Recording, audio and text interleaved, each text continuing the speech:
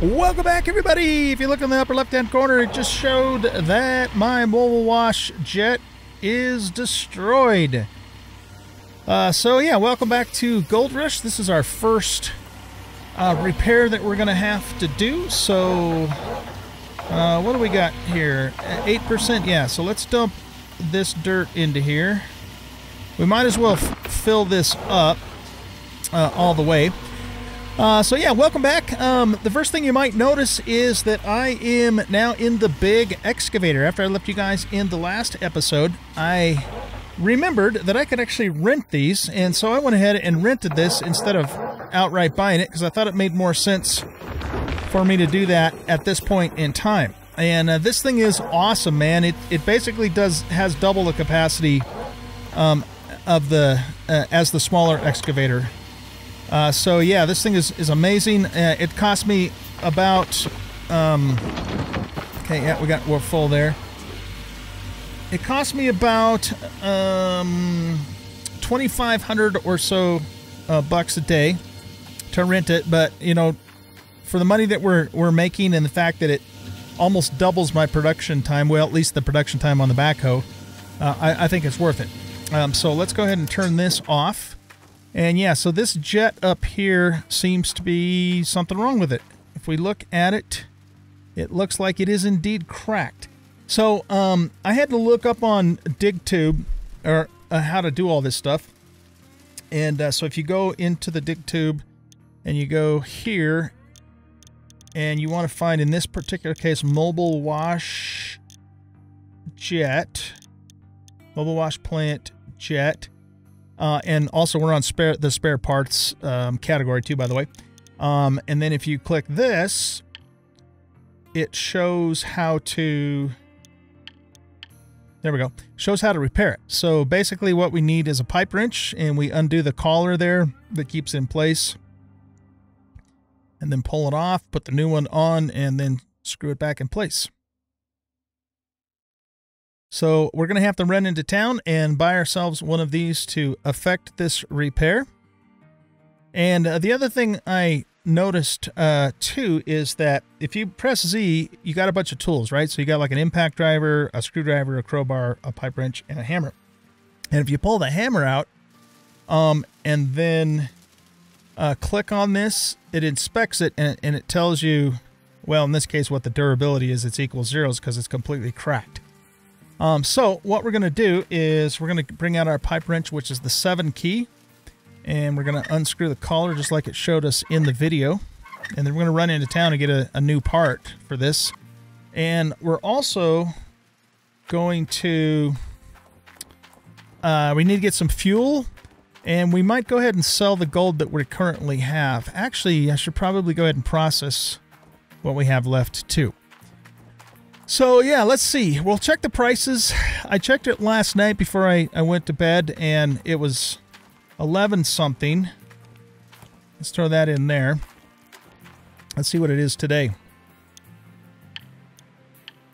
Oh, nice. It's it's actually up to 1202. So yeah, this this would be a good time for us to sell. Um, now, the other thing is, I can't, I haven't been able to determine if this dude that I hired is, is doing anything. Um, I, I was watching, you know, my gold to see if, if, if it went up a little bit, because I think that's how you can tell. And I, I didn't see it move at all um, during this last uh, day. It's 8 o'clock in the morning, too, by the way, so I worked a full day and got 61.101 ounces plus whatever we're going to process out of the bucket now, which is, it's almost full. It's 88%. So let's grab that. But since the price is over 1200 um, I'd like to take advantage of that right now and get that uh, taken care of. So let's process the rest of this. We're up to 18% magnetite now, so that's slowly building itself up. And then uh, we'll, yeah, we'll do this last thing of gold. We'll run into town. Uh, we got to get fuel. We've got to get a new jet. And let's also see who else is, um, if there's more people that we can hire. Okay, so we'll do that. Okay, so that gets us up to 66.4 ounces. Um, let's grab this fuel tank and refuel you. Okay, you're already at 100%. Uh, we're going to turn you off. And let's for not forget to replace these buckets.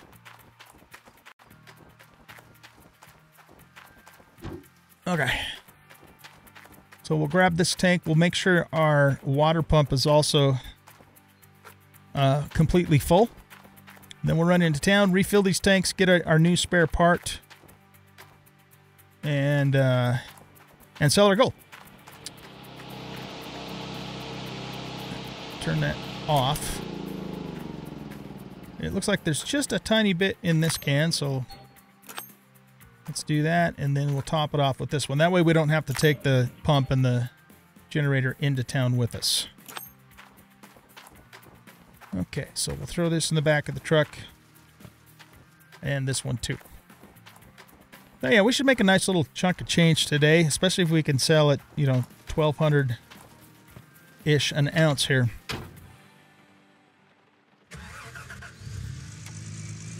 Okay, I'll see you guys. Uh, actually, what I'm going to do is I'm going to go to the blacksmith shop and smelt all my gold into bars, and then I'll meet you at the bank for the actual sale. All right, guys, we are back and uh, at the bank here. Let's go ahead and pull on in here. Uh, I just noticed I can zoom in and out a little bit with the mouse button too, which is kind of cool.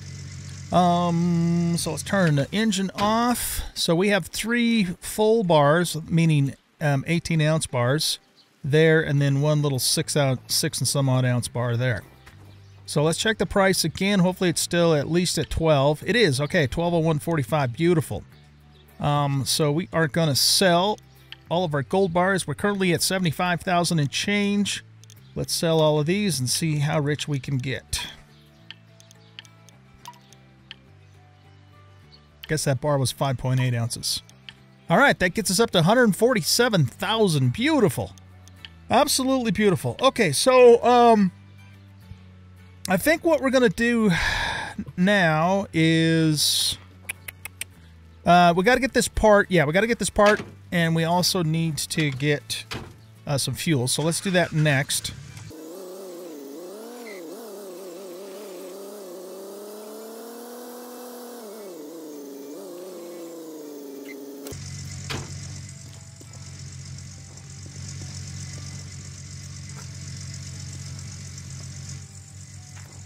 Okay, let's grab that and you and fill you all the way up. Now, we could certainly afford a a, mob, uh, a mobile fuel tank now, but I mean, with with two full jerry cans and everything, and, and you know the the pump and the generator filled up, I can I can mine for an entire day. So I, I think we'll hold off just a little bit longer before we get the fuel pump. You know, it's not something that we absolutely need to have at the moment, but we will definitely be getting it. Okay, so that takes care of our gas. Now, let's head back, uh, or over rather, to the warehouse so that we can get this replacement part that we need. So that's the next thing on the list.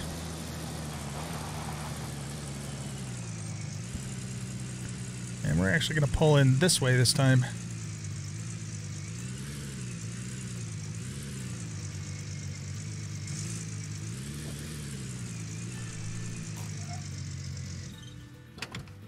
Okay, so um, this is a part, so I'm sure we're going to need to go into the spare parts area.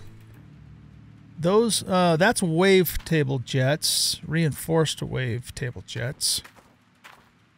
Okay, what do we got here? We got reinforced rotator hydraulic. Oh, we got pickup truck wheels. Cool. Trailer wheels. Pickup truck wheels. Okay. Um, let's see. Where else would we find a Glacier Creek engine? Nice. That's like the one they're using on uh, on the show. Uh, by the way, if you guys are curious, I am watching um, uh, Gold Rush on Discovery, and I'm on like episode nine of season one so far. So yeah, really been enjoying that. Oh, here we go. Um, this is a reinforced mobile wash plant jet for two thousand dollars. This is just uh, for two normal one for two. Yeah, let's just get the normal one. um, You know, let's. Why don't we buy two? Uh, should we buy two of these? Nah, let's just buy one for now. And I don't think we need anything else from here that I can think of off top of my head. Gold Nuggetator Belt. There's some batteries. Cool. Uh, all right, yeah, I think that's all we need to get from here. So let's order that part. And go out to the staging area and load it up in the back of the truck.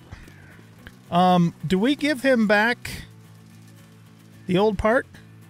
Is there like a a recycle option? Or do we just put it in the dumpster? Okay, we're just gonna put it in the dumpster. Because it's not doing us any good. It is done broke. Okay, we'll put this in the back of the truck here. Is it in there? Yeah, it's in there. Okay, I think we're good to go. Um, let's run over to the to the parts, or not the parts place, the heavy machinery yard for just a second. I want to look at something there. So this place is just right over here behind the cop shop.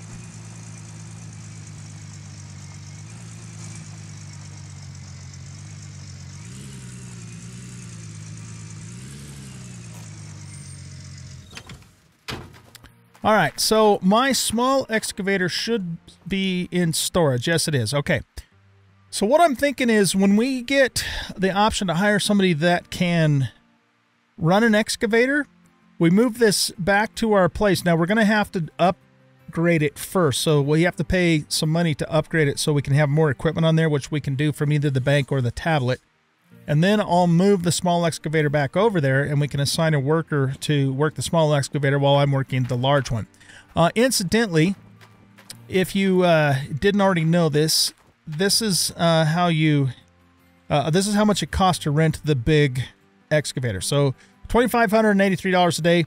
But I mean, considering the fact that it doubles our production on uh, on the excavator, I, I, think it's definitely worth it, and we can certainly afford it. You know, with um, the money we have. Now, I'm the tutorial will eventually have us buy this, and so I'm just going to keep renting for now until the tutorial actually has us buy one. Um, all right, I think that's all we need for now. So yeah, let's head back and get that uh, wash mobile wash unit jet thingamadoodle repaired. Okay, we are back at the ranch here back at the claim.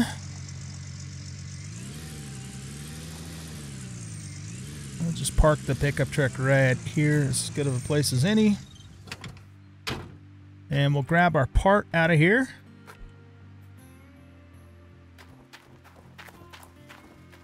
And then we stick it up here.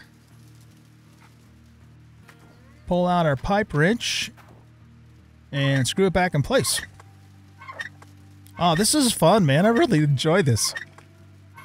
This game is is there's a I don't know. It's just it's very immersive. Um, you know that that we have parts and stuff that we can repair. And uh, if you you know if you like if you like gold and like making money, this game is fun. I am really enjoying it more than I thought I was going to. Uh, to be honest with you. So, all right, you guys. Well, we are sitting at $147,000 so far in change. Um, and so it's time to get back to mining. So I'm going to cut the camera here and uh, get back to mining. And I will bring you guys back at some point in the near future with an update on how we are doing. So I'll see you in a while. Uh, Houston, we have a bit of a problem here. Uh, the creek's drying up. So I was uh, mining and I got a message saying that the creek's dried up. So I don't know what I'm supposed to do about that. Uh, the first thing we're going to do is we're going to fire this worthless dude that still has not given me any money whatsoever as far as I can tell. So he is now fired. And yeah, there we go. Okay, because he can't work the creek anyways. There's no water. So I think what we're going to have to do is my... feels like my mouse... Uh, wait, wait, no. Don't mess... Keep new settings. No. back. Do you want to discard changes and exit? Yes. Yeah. Uh, controls. No, my mouse sensitivity is still turned on the way down. This uh, that is as far down as I can uh, put it, and it's still it's still a bit squirrely, but it is what it is. Anyway, um, okay, so yeah, what do we do about this problem? Let's open up our journal, and let's see if water. Let's look at water. All right, so big diesel water pump. It's easier to start your tier 3 journey with the big diesel water pump as it's a bit cheaper and and uh, and don't requires the big generator to run it. Uh, you will be able to provide water to all required machinery. The only thing you need to take care of is to have enough water on your claim for the pump. It can be a river, a lake, or the water tower in the more harsh conditions. Um, big pumps are using the huge water hose, so make sure you use proper splitter to water up mining machines. Okay. And this is the big electric water pump, which means you need to run it off of a generator instead. Big water tower. When your river or whatever water source you have nearby will dry up or freeze, it's important to have some water stored in one of the finite tanks. The biggest one in the game is the big water tower. It can store enough water to let you work for a longer while, but it will eventually become empty. Then you have two ways of filling it up. If it's possible, you can pump the water from a river. If not, you can order some water from the supply service. It will arrive instantly. 150,000? Whoo! Mobile water tank. Okay, when the water sources dry up or become frozen, you have to water up your machinery in a non conventional way. There are two finite containers you can buy. This time, let's talk about the smaller and cheaper one, the mobile water tank. Its built-in water pump won't allow you won't allow you grant enough pressure for the highest tier wash plants, but it's very good as a pack with the mobile wash plant. You can easily move them around the claim without creating a mess with hoses. That's not a bad idea, actually. It looks like that's probably our option. Um, small electric water pump, diesel water pump. Okay. Oh, here's some information about workers. Let's read this. Um, that's that's the part of workers tab that is important. When you want to find some new workers, there are a new job application every few days, so choose wisely. Don't reject someone if you think you may need him in the future. You can find there all information about your possible companions. They really need to do some QC work on the text on this. Um, their requested salary, percentage of their skill efficiency can be upgraded later, their upgrade level, and the specialization they choose. Think twice before rejecting anyone. Each assigned worker's gain gains a percentage of performance every single day of work. When he reaches the limit for the current specialization level, you have to upgrade him to the higher level to let him learn more. With each level, he will get some addition per, additional perks that will let help you on the claim. My goodness, yeah, this this uh, grammar is terrible.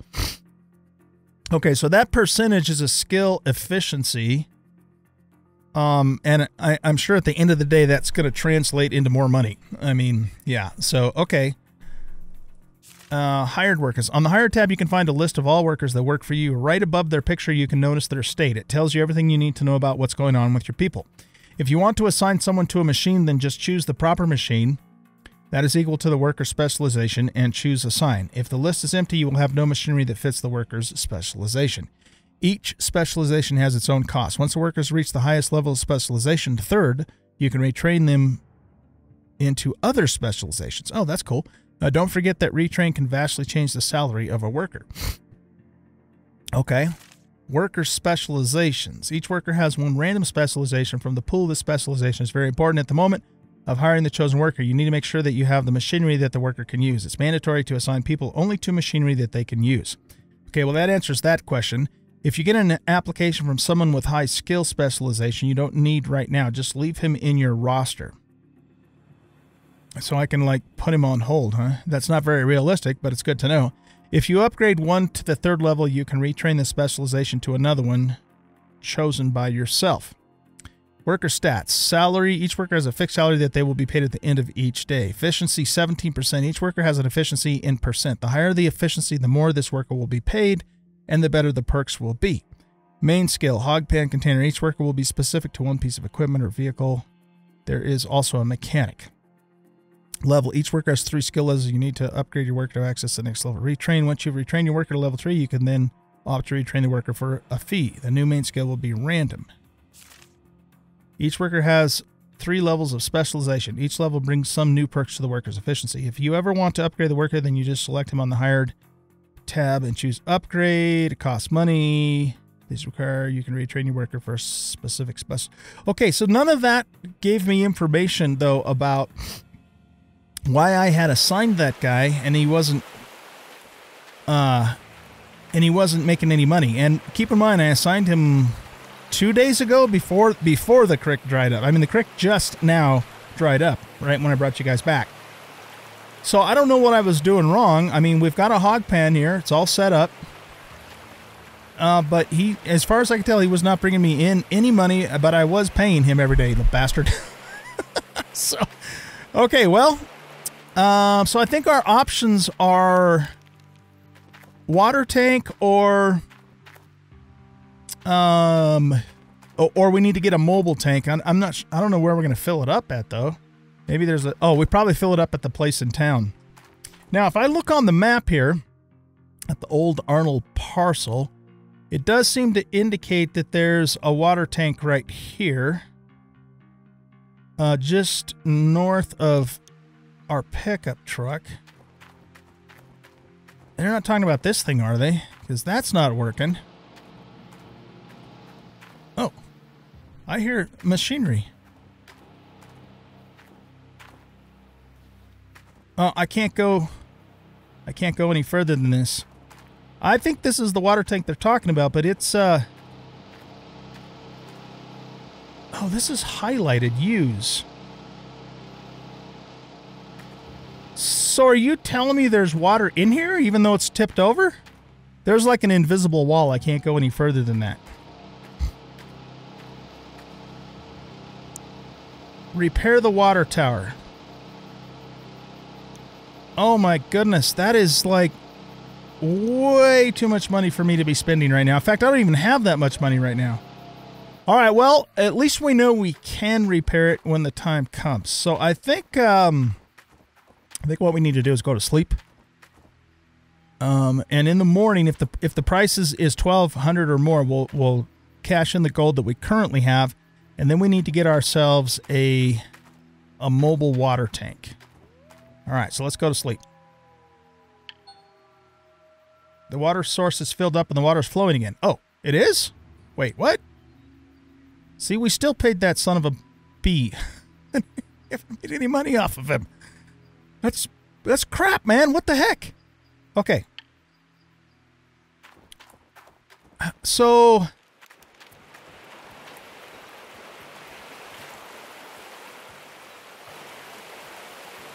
All right.